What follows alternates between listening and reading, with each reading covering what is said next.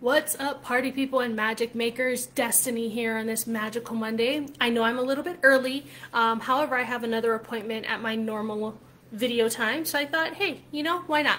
Um, if you are here, it is because I am doing a weekly mindset video. So every Monday I go live talking about mindset.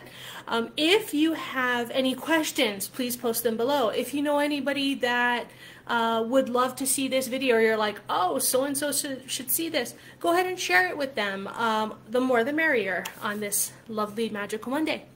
All right, so today I wanted to talk about energetic addictions. This is not mine. I learned this from an amazing, amazing woman named Corey Michelle.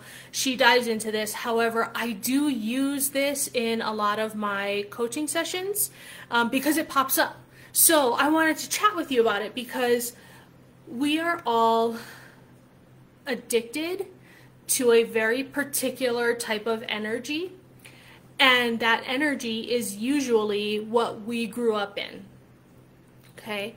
So if you grew up in a house where there was a lot of frustration and anger, that can actually feel safe to you or comfortable to you because you know it. Does that make sense?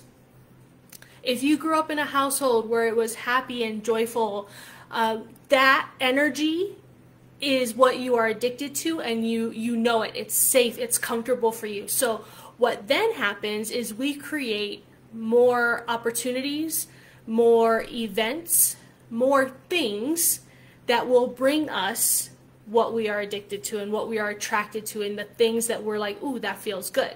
So if you grew up in that household with anger and frustration, and you are presented with option A, where it will bring you anger and frustration, or option B, where it will bring you happiness and excitement and joy, we are going to choose option A because it's the thing that we know and we're like, oh, that one. Okay? If we grew up in the other household with the joy and the happiness and the excitement, we will choose option B because we're like, oh yeah, I know that one. That one's familiar to me. That one's comfortable to me. I want that one.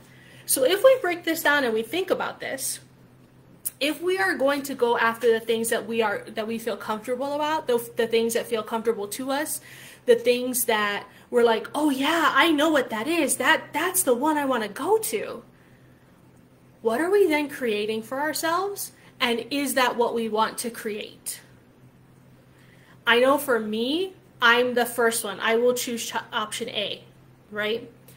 It will be an absolutely beautiful and amazing opportunity, but it will be filled with anger and frustration and irritation, right? So because I know that though, I know that I can do something different. Okay? However, if you don't know it, then it then you're just doing this unconsciously and it's got you, right? So first things first, what do you need to do to undo all of this? Because what if you want to choose the stuff that's amazing and and fun and adventurous, right? And instead of option A, what what if you want to choose option B? So the first thing first is you need to know what your energetic addiction is. Okay? What is the thing that you feel and it may not feel comfortable as far as like what everybody else thinks, but if you get real honest with yourself, you're like, yep, I do this a lot. I feel this a lot. Some people choose into anxious, right? They feel anxiety a lot, they worry a lot, so it always brings up their anxiety. Some people feel depressed because they're sad. They grew up in a very sad household, or maybe not even a household, right? Just some pe- some kids in the foster system, it's just sad, right? And so that's what they know. And so it feels like, oh, I know what that is. I, I that feels like this feels good to me because I've known it for so long. Except it it sucks. It sucks so bad, right? So identifying what your energetic addiction is. How do you do that? Well, go ahead. Just last week, I put up those those charts and the emoji faces, right? Start start there. What are you feeling? What are the things that that you feel in either the emoji chart or in that that wheel the most often? Just look at it. What do you feel the most often? For me, it's the frustration and the anger it, that's the go-to that's that's the one i know it's the it's the one right? And so i know it. So when i start like feeling it i'm like hang on. This is an addiction. This is my addiction. So i get to now now that i recognize it and i know what it feels like and i know when i'm starting to feel it i can ask do i want to participate this or not? Because is there are there ways to make something that's frustrating not frustrating? Yes. I can ask for support, I can ask for help, right? I can look at something and go, do I really need to do this? Or can I have someone else do this? Right? Do, what what can I do so that I don't have to feel this frustration? And just asking that question is really super expansive. Okay. So you've got to identify what you're feeling, identify like when you're feeling it, like is there something in particular? Is there something that sets it off? Right? And then start asking yourself questions. How can I change this? How can I make this different? Do I want to participate in this? Can I get out of doing this? And lo and behold, it starts happening. So I was at one of Corey Michelle's events in November where I found out that mine is the frustration and the anger, and I can feel it. I'm like, I'm start, and I, I will say it. I'm like, I am freaking frustrated, right? And then I'm like, oh, wait, I'm frustrated. Hang on do I have to participate in this? Do I have to move forward in this? Do I like do I want to? And if the answer is yes, it's yes. If the answer is no, I can do so many other things with that energy. So many other things, right? And the other thing too is like now that energy can get cleared, right? It can just you can clear it and just keep clearing it and keep clearing it and keep moving it out and away until pretty soon it doesn't have the hold on you that it normally does and you're also not creating new evidence for it to keep having its hold on you.